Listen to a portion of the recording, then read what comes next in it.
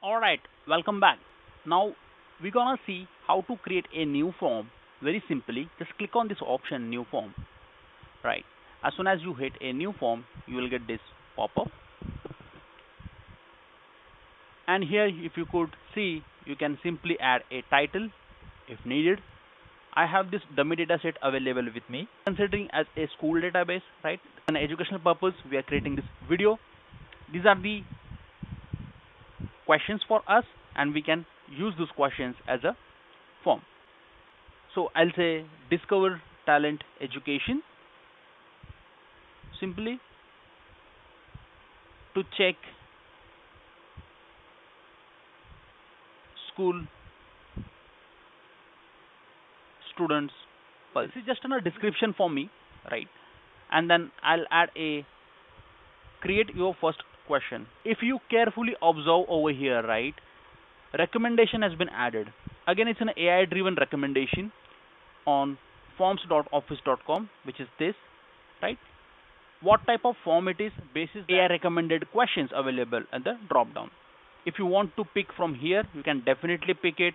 Otherwise you can directly just add your questions and so on and so forth.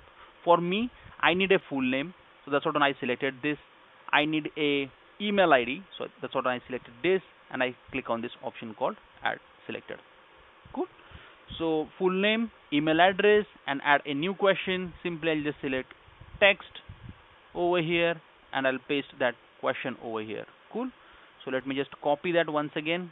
Copy and then simply just paste it over here. Great. So control B again I'll say it's a required one. I need a required answer for this.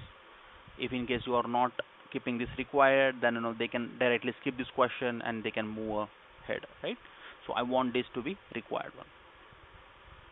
Now if you could see over here what is your name and full name is one and the same right? So if in case it's the same then I don't need this. I'll simply remove this. I don't want that. Email address what is your name? Cool here. Again I got a recommendation. Simply let me just check what I have in my questions. Grade you are in. So now when we click on this option called add a new question you could see these are the different different pointers available right? Choices basically different different choices will be available for the respective individual to choose one the option from them right? Text as we have seen already right? So whenever we type any kind of a value in it and we want a response from the user right? That time we select that option. Again here rating if in case you want to add a rating over here that rate a rate to school cool.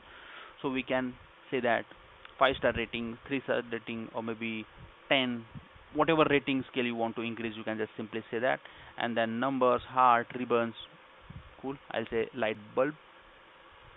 And then if you could see over here insert paste. And then when you click on this option right you can insert a video or maybe the images background of the question right if you want. I don't want that so that's what I'm skipping that particular part. Here if you could see move question up move question down you can do a alignment changes over here. If in case you don't need this question you can simply just click on this delete question if you want a copy of this particular question simply just copy it okay? I'll say rate to cafeteria. Cool? So these many questions I have just now added over here. Cool? And uh, I will say smile simply. Yeah. So this is it for me.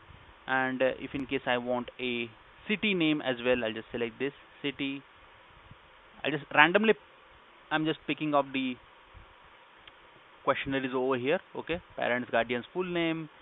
Again date of birth if in case you want simply just select it okay? I'm just picking a random questions once again folks okay? Only 10 questions we are picking for this understanding right?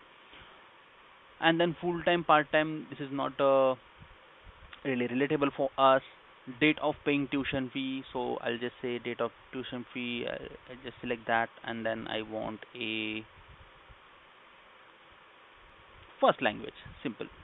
And then here so this is it. Uh, i don't need much information about